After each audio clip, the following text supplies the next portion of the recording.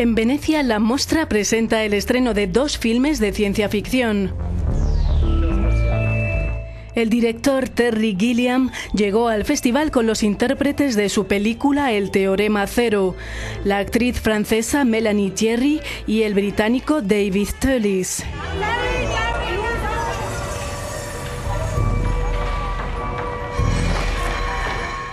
El teorema cero gira alrededor de un genio de la informática que vive en un mundo corporativo hipercontrolado por una misteriosa dirección.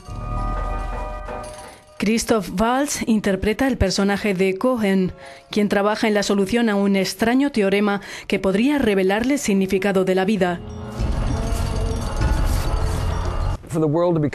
Para la gente de mi generación, si el mundo se convirtiera en algo así sería un fracaso.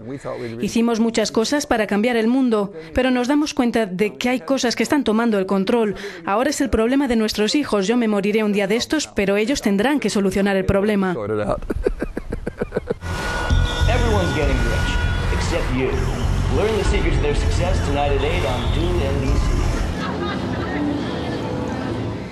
Estreno mundial también para la película de animación Pirata Espacial Capitán Harlock. Leiji Matsumoto, dibujante de mangas japoneses, y el director de cine Shinji Haramaki posan con los colaboradores de la película.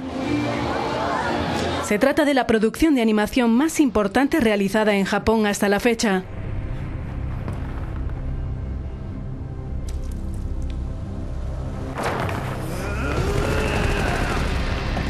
Este drama futurista sigue los pasos del Capitán Harlock, la leyenda de Leiji Matsumoto. La película es el fruto de cinco años de trabajo, con un presupuesto de más de 22 millones de euros.